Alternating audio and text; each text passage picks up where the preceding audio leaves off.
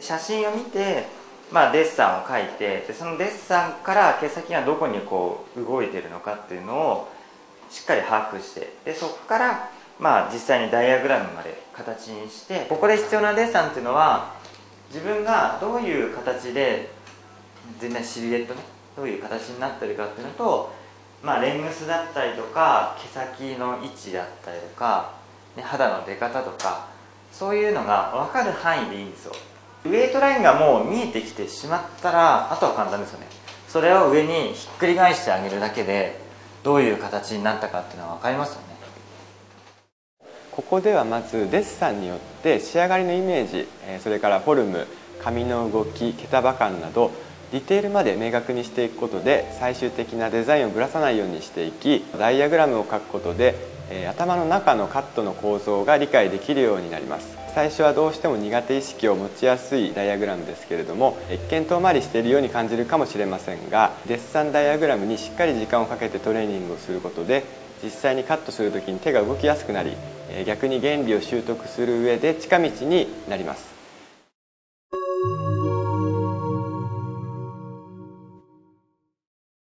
今日3スタイル切るんでこの左側の方から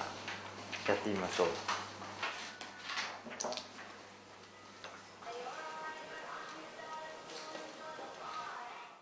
ここではあくまでもテクニック、まあ、切り方を覚えるだけではなくて、えー、GL の原理、えー、それからリフティングオーバーダイレクションというテクニックを使って、えー、髪が落ちた時にどういうフォルムになるかという最も基本的な原理を、えー、毎回さまざまなデザインを通じて学んでいきます。以前に比べて GL の考え方はだいぶ定着してきたと思うんですけれどもセクションパネルという考え方に今後のベーシックにおいて課題を感じます。そこで新しいベーシックの考え方として DDA ではセクションパネルの取り方という部分にも力を入れ始めました。この考え方は従来にもあったような作りたいデザインに合わせて一定ではなく自由にセクションパネルを取りましょうという考え方にプラスしてセクションの幅を場所によって厚く取ってみたり逆に薄く取ってみたりして厚みをコントロールしていったりまたセクションの角度も一直線に取るんではなくってデザインに合わせて微妙にカーブさせたりすることでさらにフォルムコントロールをスムーズに行えるようにしていきます。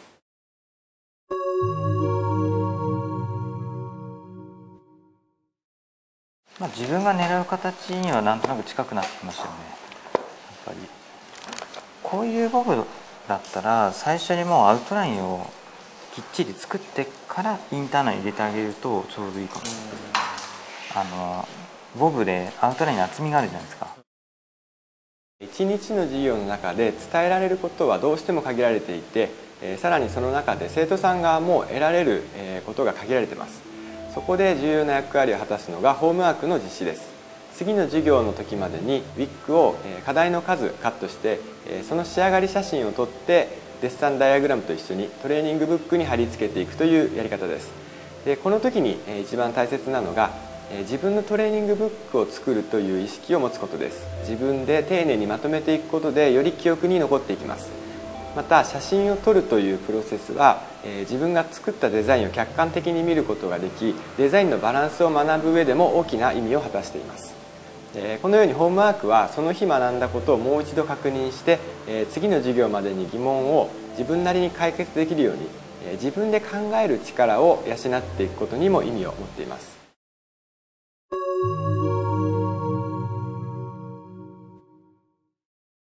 結局今までやったベーシックが全部後ろから切ってとかアウトラインまず作って切ってとかアウトライン作りながら切ってとか全部前から切ってっていうのが最終的にはそれを全部組み合わせっていいとこ取りをしてデザインを組み立てるっていう。一番大変な作業です。ね利用システムとはその日に学んだことを効率よく記憶に残していくために、え大変重要なプロセスです。これは授業の最後に3名から4人組になってもらい1人ずつその日に学んだことを声に出して説明をしてもらいます。ここで重要なのは声に出すということなんですね、えー、声に出すことでより記憶を定着させる効果があります。自分の声に出して言うという非常にシンプルなことなんですけれども記憶に残していくために大変大きな効果を発揮するトレーニングシステムです。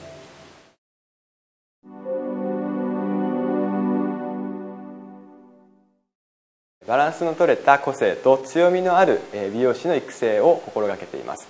ここで重要なのがまず弱点をなくすっていうことなんですね。弱点があるといくら強みがあったとしてもどうしても美容師としてのバランス力に欠けてしまうのでまず弱点を授業の中で克服します。でその際にまあいち早くあの講師がそ,、えその人の弱点を見抜いて、えその人に合ったプログラムで、え弱点をカバーできるような内容で授業を行っていきながら、えそしたらその上で今度は、え強みとなる、え個性を伸ばしていくような、え内容で、え行っています。基本的なテクニックはもちろんなんですけれどもそれよりもっと大事なのが、え考え方の、え癖をつける、え原理の勉強の仕方です。サロンワークにおいてもクリエーションの現場においても自分がイメージしたデザインを形にできるという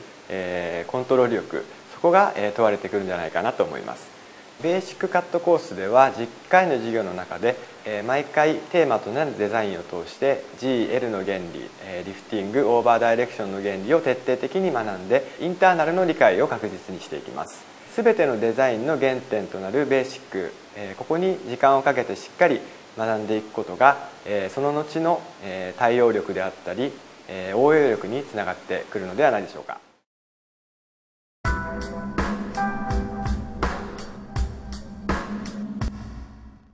提案とかこうスタイルの話とかいつもマンネリ化してる方で飽きられて来なくなっちゃったりする方も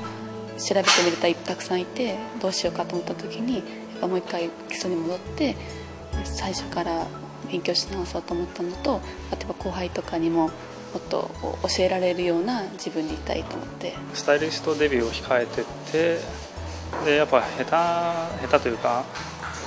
やっぱ技術ないままお客様に入るのがちょっと不安だったので。スタイルをこの切り方はこうですみたいなスタイルの切り方しか覚えてなかったのでなんでこう切るんだろうとか例えばまあ重さが欲しいからとか軽さが欲しいからっていう本当単純なことなんですけどまあ、それのコントロールとかをもっと深く知りたかったっていうのと自分のお店でベーシックを習ってスタイリストになったんですがやっぱりここでもう一回こうしっかりもう一度基礎からやり直してベースになる技術を身につけてからたくさんのお客様に入っていきたいと思ったので曖昧な技術だったので、えー、とやっぱ教育のためにも、えー、その曖昧をなくすために、えー、しっかりとした技術をもう一回一から習いたくて。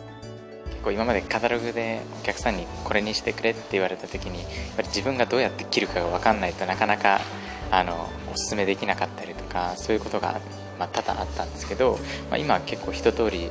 あのどのカタログでどのヘアスタイル見てもあこれはこうなってこうなってるんだろうなっていうのでやっぱ進められるようになりました。引き出しが増えたのとカットの時間がすごく早くなりましたね。手数が今まで無駄なことをしていたことがまず手数が減ってちゃんと理屈が分かるとあの今まで何回もやってたことが1回で済んだりとか。でも練習量がやっぱ一番来る前よりもだいぶ増えたかなっていうことですかね。骨格に合わせを意識して着るようになったので形はすごい綺麗に